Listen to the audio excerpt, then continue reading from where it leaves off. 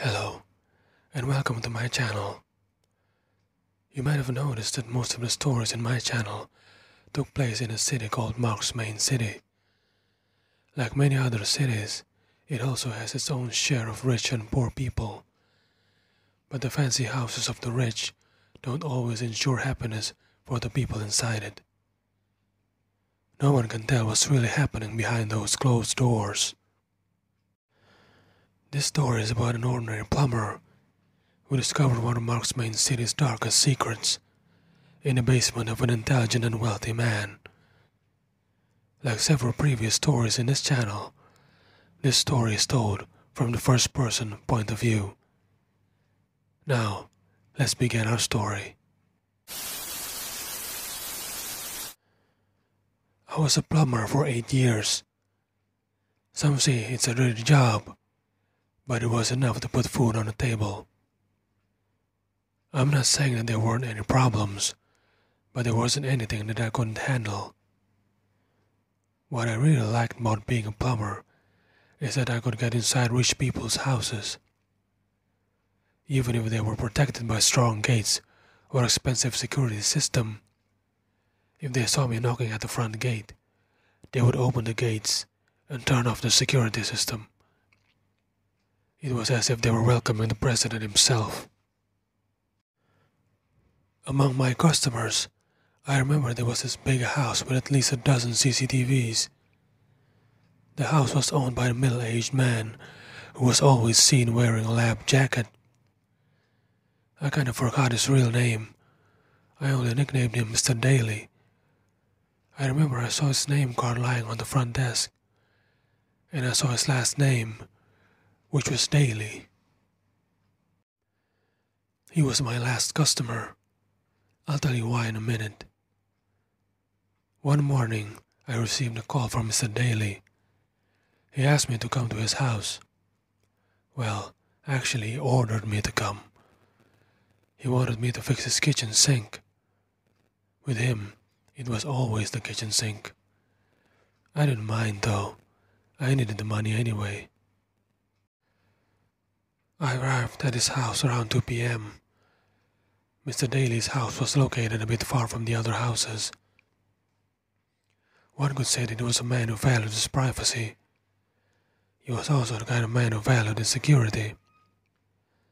If there is one thing I remember about Mr. Daly's house, was that he had a lot of CCTVs. I admit I was curious about why he had so many of them, but I never had the courage to ask. When I arrived, I saw two cameras at the porch, staring at me. I pressed the doorbell and waited. Not long after that, a man came out of the house, wearing a shabby lab coat. Mr. Daly was a typical scientist, with round glasses and thin hair on the top of his head. He was a skinny man, and he always looked tired. Please, come in, he said. I went inside, following him to the kitchen while carrying my toolbox. I saw two cameras at the living room one near the bathroom door, one on the stairs, and one more at the dining room. I swear he was either eccentric or just plain paranoid. It's the usual problem, he said to me when he arrived in the kitchen.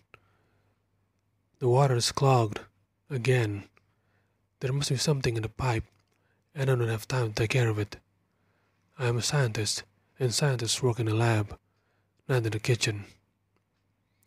I smiled. Sure, I said to him. No problem. Mr. Daly may be a scientist, but he was an arrogant one. He was also a messy one. The reason why the kitchen sink was often clogged was because of the food leftovers in the pipe. I'm not a scientist, but even I know that leftovers belong in the trash can. Okay, now I gotta get back to work, said Mr. Daly. He then walked to a door not far from the kitchen. It was a black colored door with a sign that says, Do not enter, hanging at the front. Just knock the door and you're done, he said. He opened the door and went inside, down the stairs. I came to this house too often to know that he had a lab in the basement.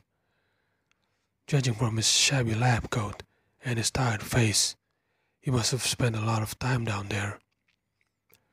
I never knew what he was really doing. I asked him once, but he ignored my question. After that, I didn't want to ask any further. My business was with the pipes and nothing else. I didn't want to waste too much time there, so I started doing my job. Mr. Daly's house was always quiet. He never had any pets, at least I didn't know of. There weren't any photos of him, just a couple of small paintings about mountains and rivers. He was a bit of a loner, and you can tell a lot about a person from the interior of his house. Ten minutes after I started working, the lab door suddenly opened. I got startled and turned around. I saw Mr. Daly walk out from the door. Little rascals, he shouted. I saw his right hand covering his right eye, and there was a red stain on his lab coat. He rushed to the stairs and went to the second floor, leaving me alone in the kitchen. I saw the lab door half opened, which was a rare thing to see. Mr. Daly always kept it closed and locked, and he carried the keys in his pocket. Either way, I was always curious about what he was doing. When I was a kid, I always thought that laboratories were filled with colorful chemicals and live animals in cages. At that moment, I had the opportunity to see what the real lab is like. I put my tools down and walked toward the door. I glanced at the top floor, and Mr. Daly was nowhere to be seen. I continued to open the door and saw some stairs down to the basement.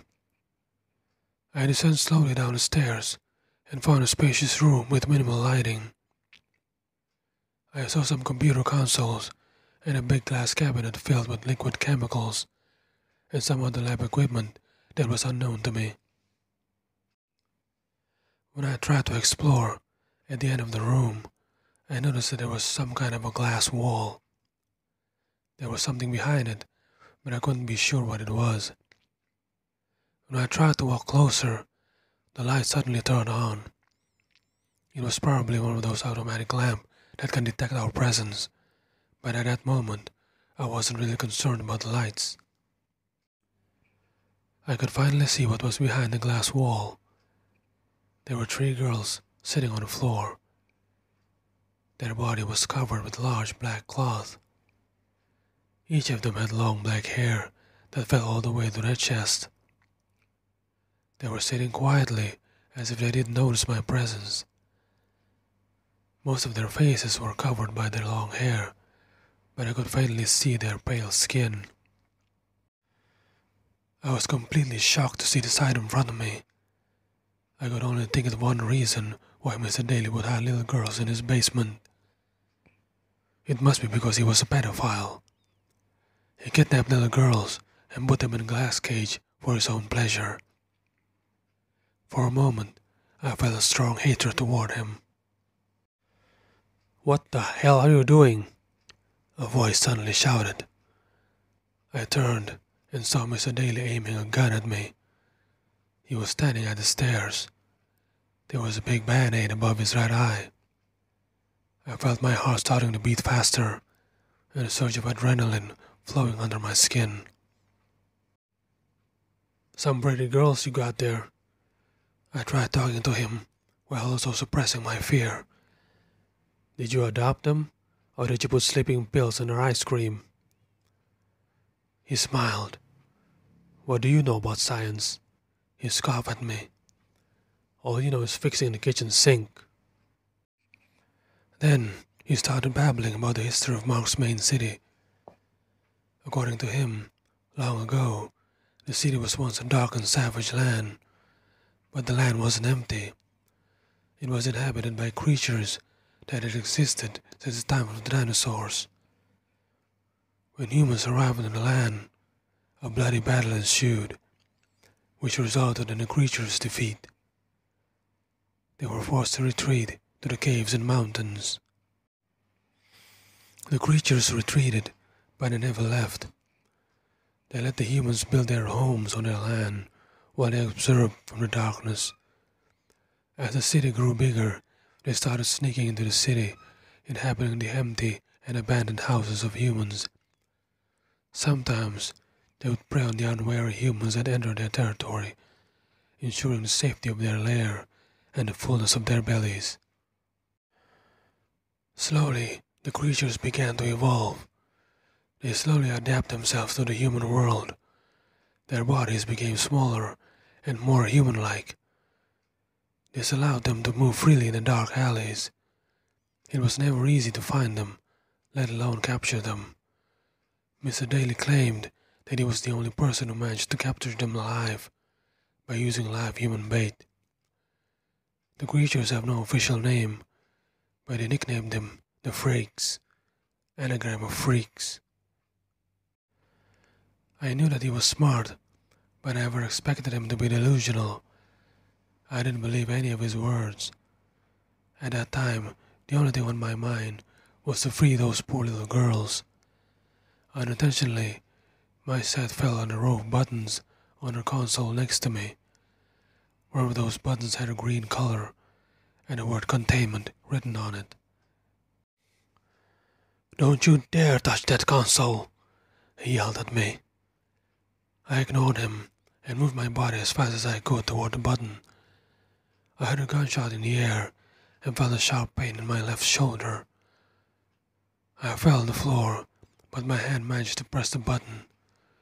I heard a buzzing sound coming from the walls, and I saw the glass wall rise to the ceiling. You idiot! Do you realize what you've done? Mr. Daly yelled in desperation. I didn't care what would happen to me. Those girls were free. It was all that mattered. I saw those three girls standing up, and they were actually taller than I thought they'd be. The black cloth on their bodies suddenly opened, and it turned out to be wings that resembled bat wings. Their mouths suddenly opened, revealing sharp white teeth. From their mouths came a terrible loud scream. The sound was almost deafening, and I tried to close my ears with my hands. The three creatures then moved like a flash passed over me and immediately attacked Mr. Daly. I heard Mr. Daly scream in pain. The creatures were merciless. Several gunshots were heard, but they all missed. It was probably hard to aim when you're being chewed alive. Finally, Mr. Daly stopped screaming, and I could see his body lying there in his own pool of blood. The creatures stood up and turned their heads toward me. On their faces, I didn't see any eyes or noses. I only saw big mouths covered in blood. They just stood there staring at me. I couldn't remember how long, but it felt like hours to me. Finally, the three of them left the basement. I saw them running up the stairs, dragging Mr. Daly's body. I didn't want to follow them. I was still frozen in fear. A few moments later, I felt the pain in my left shoulder again. At that moment, the first thing that came to my mind was to leave the place as soon as possible. I grabbed my tools, got in my car, and went to the nearest hospital. On that day, I stopped being a plumber. Two years have passed since that incident. I am now the owner of my own coffee shop. It's a small one, but I'm really liking it. The best part about this job is that I get to meet new people and hang out with old friends. My job right now is much better than being a plumber. But that doesn't mean that I've forgotten about Mr. Daly. I never came back to his house.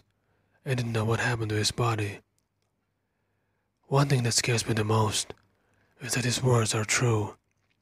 We are not alone in this city. I am one of the few people who knows its secrets, but until now, I couldn't bring myself to tell anyone about it.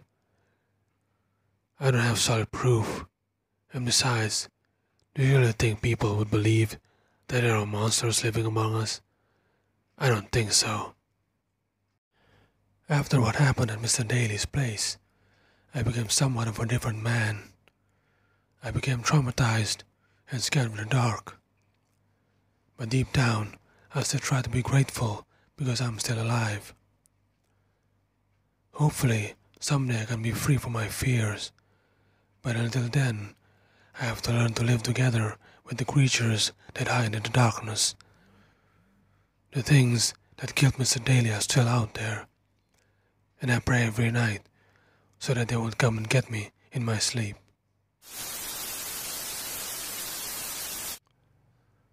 And so the story ends here. Like all other cities, Mark's city has its own secrets. The plumber knew about it, but he kept it to himself. The one lesson we can learn from him is that, although he still lives in fear, he is still trying to live his life to the fullest. Although life is hard, we must never stop trying our best. That is all for now. I will see you soon with another story. Thank you for watching.